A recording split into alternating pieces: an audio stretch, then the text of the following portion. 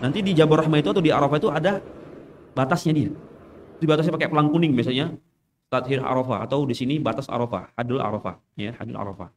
Jadi mereka nggak bisa keluar dari situ. Namanya wukuf, wukuf itu wajib. Al-haju Arafah kata Nabi. Haji itu adalah Arafah. Dan kita kaum muslimin yang tidak wukuf Arafah disunahkan apa? Puasa Arafah. Ya. Sekarang timbul pertanyaan, bagaimana Ustaz?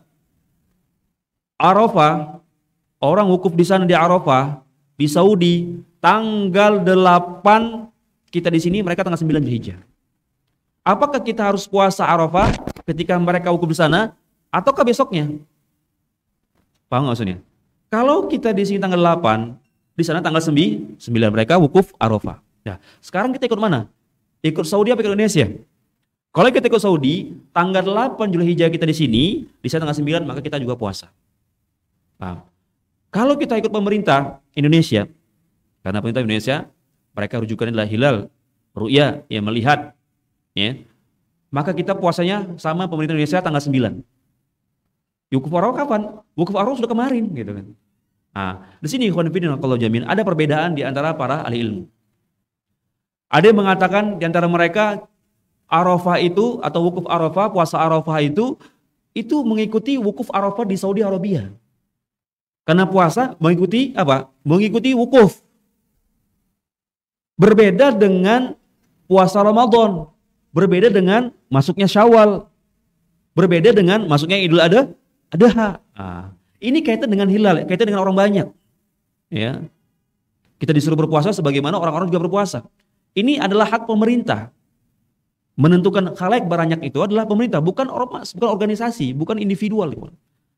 Karena ini kaitan dengan orang banyak gitu kan. Karena kaitan orang banyak maka harus diatur. Ya. Dah. Jadi ikhwan fillah rahimanallahu jami'an. Pendapat pertama mengatakan bahwasannya kalau di sana wukuf di Arafah ya wukuf tanggal 9 Julhijjah di Saudi Arabia maka negara-negara ikut wukuf di Arafah. Artinya apa? Ikut puasa Arafah karena mereka wukuf di Arafah. Berarti kita di sini tanggal 8 di sana tanggal 9. Berarti kita puasa hari Jum Jumat. Kalau ikut pendapat ini. Ya. Kalau ikut pendapat ini. Ini di antara pendapat yang mengatakan siapa? Syekh Sulaiman Ar-Rahili Hafizahullah ulama Madinah yang beliau termasuk guru besar di Madinah pengisi kajian di Masjid Nabawi. Ini antara pendapat beliau. Oke. Kemudian final kalau jami'an. Pendapat kedua, mereka mengatakan tidak harus ikut pemerintahan Saudi karena setiap negara itu berbeda-beda ya menentukan tanggalnya. Kalau di sini tanggal 9 Julhijjah di Saudi 9 Zulhijjah, maka di sini bukan tanggal 9 Zulhijjah. Ya. Berarti apa? Harus mengikuti tanggal 9 Zulhijjah karena 9 Zulhijjah di situlah wukuf Arafah. Berarti apa? Ini berkaitan tentang waktunya berarti. Kalau tadi berkaitan tentang apa? Tem tempat kan gitu kan. Berkaitan tentang tempat. Dah.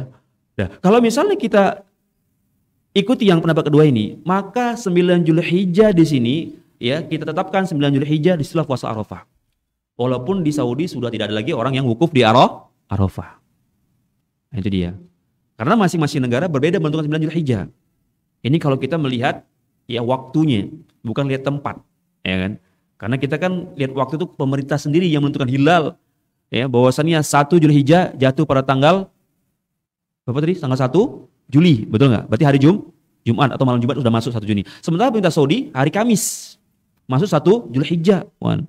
Berarti Pendapat kedua ini mengikuti zamannya. 1 Julhijjah, 2 Julhijjah, 3 Julhijjah, 4 Julhijjah sampai 9 Julhijjah.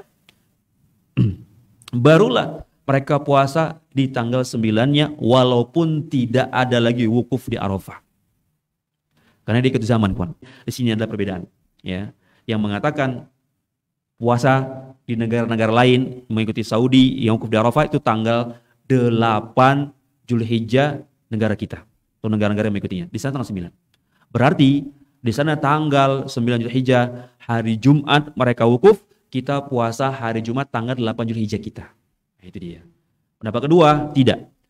Pendapat kedua mengatakan ya ikuti tanggal 9 Zulhijjahnya. Berarti tanggal 9 Zulhijjah hari Sabtu. Berarti puasa ya kita tanggal Sab tanggal apa hari Sabtu tanggal 9 Zulhijjah. Ya, ini bagi yang kita pendapat dua, ini di antaranya pendapat Syekh Husaimin rahimahullah. Jadi, kalau jamian ala kulli hal di sini ada perbedaan di antara para ahli ilmu Ya. Mana kira-kira yang lebih kuat, itulah antum kerjakan.